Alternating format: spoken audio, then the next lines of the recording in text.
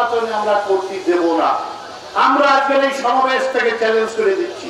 রোববার বিকেলে যশোর শহরের মনিহার সিনেমা হল চত্বরে পৌরসভার এক দুই ও নয় নম্বর ওয়ার্ড আওয়ামী লীগের আয়োজনে কর্মী সমাবেশ অনুষ্ঠিত হয়েছে।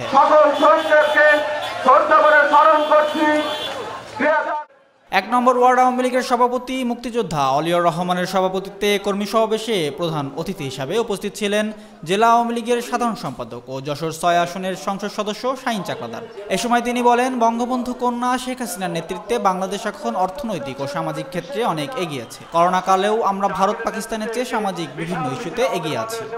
আমরা করতালির মাধ্যমে তাদেরকে স্বাগত জানাই আর এরা তো মধ্য দিয়ে তাদের জন্ম।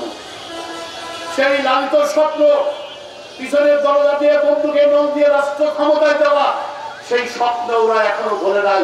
আবার তারা রাষ্ট্র ক্ষমতায় যাওয়ার জন্য গভীর ষড়যন্ত্র চলছে দেখার ষড়যন্ত্র চলছে। বলছে, কোনো কথাই আমরা মানব না, নির্বাচনে আমরা করতে দেব না। আমরা আজকের এই সমাবেশ থেকে চ্যালেঞ্জ করে দিচ্ছি।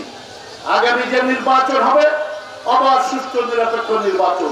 এই শহরে কোনো হরতাল, অবরোধ, কোন আন্দোলন, কোন আগুন, সন্ত্রাসী সন্ত্রাসী কায়দায় নৈরাজ্য করা, এগুলো কিন্তু আওয়ামী লীগের কোন কর্মী, সমর্থক, যশোরের মানুষ ইভেন আমার শ্রমিক ভাইরাও কিন্তু সেটা মেনে নেবে না।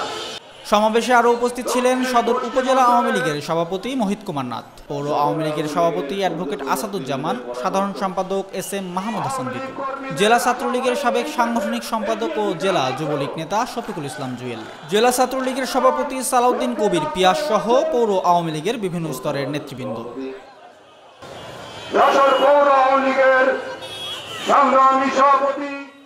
দৈনিক কল্যাণ যশোর।